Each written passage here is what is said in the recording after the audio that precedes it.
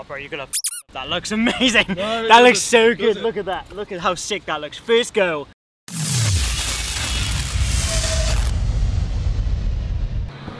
Okay, so around six months ago, I created a, a video about steel wool photography uh, with Sam, and uh, basically we went out, did some steel wool photography, and the shots they were okay. Uh, we struggled to find some decent locations, um, and I was actually out shooting the other night, uh, where we stumbled across a really cool location, and I thought it would make a sick spot for some steel wool photography. So tonight uh, we're just waiting for it to get dark now but later on we're to head out uh, and see if we can one up uh, our shots from last time so let's just get straight into the video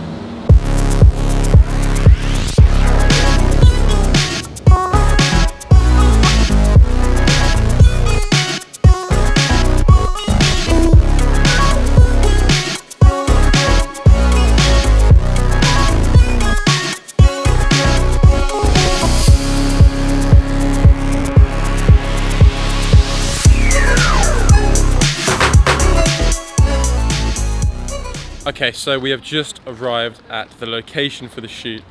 We've actually run into a huge problem. Essentially, when I came last time, this whole thing was covered in water. Uh, and basically, because it's a weekend, they don't turn the fountains on. It's only during the week. So it's literally completely dried out. Um, so we're just trying to think what we can do. The only thing we thought of is Sam has a bottle of water and it's kind of given us the idea that we could essentially just cover the whole thing. Obviously not of this bottle, but It's not enough. we're going to be doing a few trips to the water fountain and the shops and do our best to sort of scatter water because the reflection is what's going to make this picture. So we're going to go to the shops uh, and do our best. So hopefully it should work out. Yeah.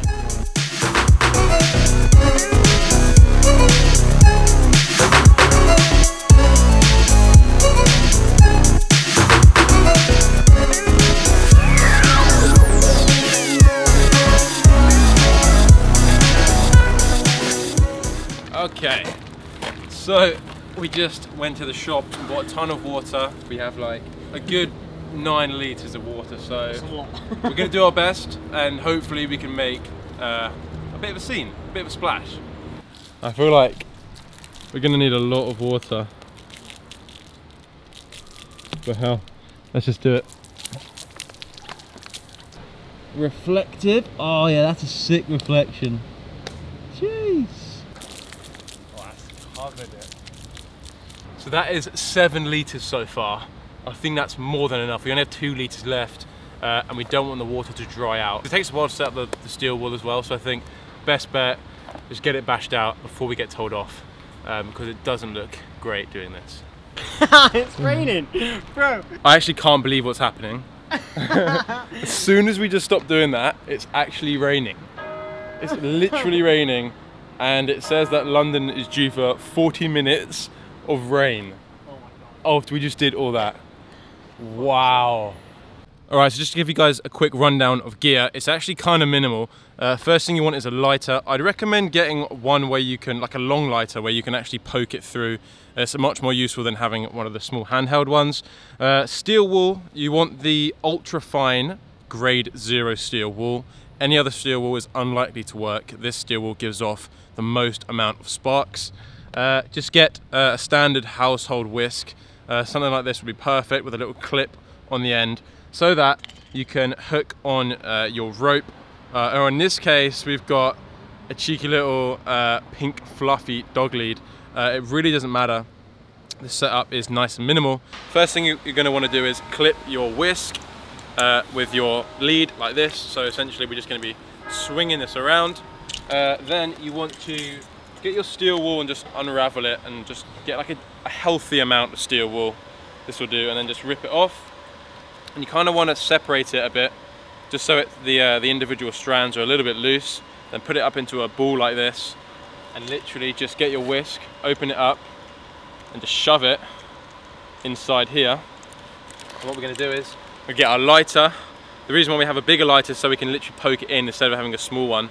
We can just literally get our lighter and then just light, oh shit. I don't mean to do that, but you get the point. Okay, so we've set the camera up on the tripod in a portrait orientation uh, and I framed up St. Paul's with a lovely reflection. Uh, I've got it set to a 10 second shutter speed as that will give me plenty of time to spin it around and create a cool pattern. Uh, we've had to boost the aperture up to f9 but that is actually going to mean we're going to get a really nice crispy shot uh, and ISO is set to 100.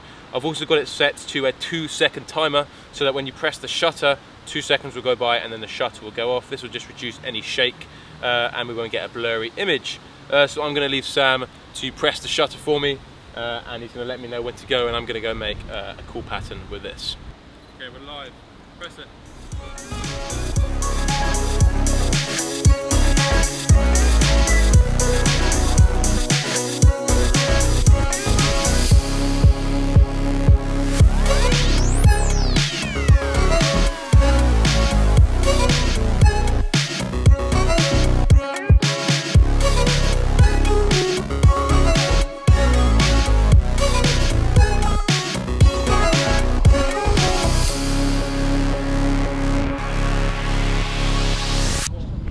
Okay, so we've pretty much exhausted all of our steel wool. I only had one packet, and it actually goes really quick because you end up taking loads of attempts.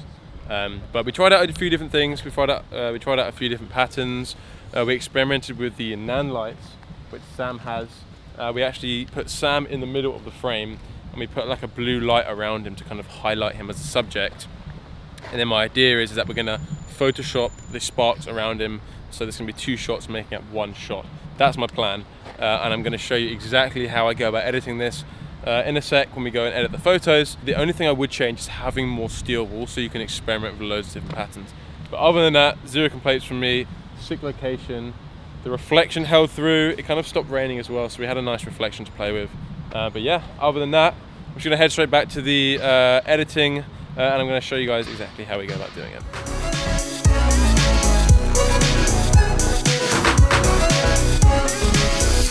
Okay, so that pretty much wrapped up the end of that shoot. Uh, I didn't really get that many shots because we were sort of limited to the amount of steel wool that we had. Uh, but nonetheless, uh, I'm going to show you guys uh, what we ended up getting up to shot-wise. Uh, so my idea for this shot was that I was going to have two photos making the final shot. The first shot was going to be uh, a shot of all the steel wool, so in, in a cool pattern with like uh, the circle in the middle clear, uh, and then uh, the second shot was going to be a picture of Sam using the blue lights to sort of backlight him, and then I was going to merge the two in Photoshop, so Sam was kind of in the middle of the circle of sparks. So this was the first shot here. It's a nice crispy shot of Sam. You can see where we've got the blue lights behind him. Uh, and then the second shots were these ones here. So you can see here we've got Sam in the middle and I'm just going to get rid of this one in Photoshop. Okay, so once we have our two shots, uh, we need to edit them both individually. Uh, I'm going to be using Lightroom for this. So uh, what I typically do is I just go through and apply one of my presets. Uh, but I've already edited this one, so it started off looking like this. And now I edited, edited it to look like this. Uh, all I did really was I just applied one of my presets uh, as a kind of like a base uh, and then I just went through, uh, changed a few things. I kind of lifted up the shadows, uh, brought up the exposure a bit and dropped the highlights. And then we ended up with the final thing like this, adding a bit more clarity in the sky here. Uh, so that looks really nice and clean. All I did was I copied the settings from that first photo and just pasted them on here so that we've got a nice even uh, transition between the photos. Uh, and then all you're going to want to do is you're going to want to uh, go back to our first one and then press command or control on your keyboard click the second one right click on both of these and hit edit as layers in Photoshop. Um, we're going to move over to Photoshop to kind of merge and blend uh, these two images together and it's a pretty straightforward process uh, if you shoot uh, the pictures appropriately. So what I'm going to do is I'm going to drag the spark layer uh, onto uh, on top to make it the primary layer. Uh, and I'm gonna see if I can play with the blending modes uh, to see if we can make something work here. I think we, we might be able to get away with this. So if we hit the lighten uh, on the blending mode and then we're to create a layer mask and we make sure that we've clicked on the white part here on the layer mask and you're going to hit B on your keyboard to create a brush. So all we're going to do we're going to zoom in like this and we're going to make sure that the uh, opacity is up at 100 and that the black over here is the primary one. If it's if the white's there, just toggle that and you can make the black one the primary. And then we're just gonna rub away in the middle here so that uh, we can reveal Sam in the center of this circle. It's actually a really, really simple process. And I'm also gonna come down here in the reflection to similarly just clean that up a bit. You can see how sharp that is down there. I'm gonna do the same on the bottom half of this reflection. I'm actually gonna probably do the whole of this circle and then I'm gonna smoothly go over here. So that's looking really nice. So if we zoom out, we can see how we've got Sam right in the middle here. You can see up here in the clouds um, that it's leaving like a nasty sort of uh, overexposed white marks. I'm just going to brush that out like that, just by going over the clouds. And then once we are happy, all we have to do is hit Command S on our keyboard to save that layer. And then if we go back to Lightroom, uh, the file should automatically load. So you can see we've got Sam in the middle here uh, with all these sparks coming out. And I'm really happy with that final shot. Uh, and yeah, it's actually a really simple process. Uh, hopefully you guys can go away and try it. Uh, that would be awesome. If you do go away and try it, uh, feel free to tag me in your results on Instagram, that would be great. Uh, and yeah, I think still photography is something that you can really get creative with, uh, so I'd highly encourage you guys to go out there. Uh, as I said, it's a really minimal setup, so there's nothing really stopping you. Just play it safe. Obviously, you're playing with fire, so do take precautions where necessary. And just a reminder, guys, that all of the images that you see on my page and on my YouTube have been edited with my presets, my Lightroom presets.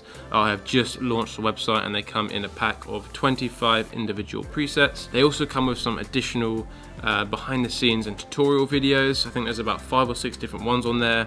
Uh, and also there's about 50 raw images of mine which you guys can practice editing on. And also once a month I'll be choosing one person who buys the presets uh, and we'll just go around London together on a night shoot or whatever. Uh, we'll just go and shoot together. But yeah, I won't take up any more of your time. I really hope that you guys did enjoy this video.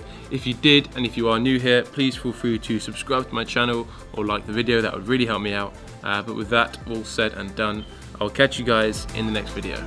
Peace.